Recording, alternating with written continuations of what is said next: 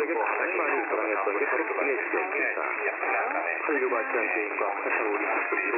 우리나라의 최신 시스템의 나라를 가리켰다고 하는데 불고기의 당도리, 육과 스테산물에 많은 사람들이까지 NHK로 나왔는데 그냥 지금 먹고 싶어서 비행기를 타고 싶다는 말이 나올 정도였고 그렇게 마음을 쓰고 출발 하는 시작이 되는 비행기를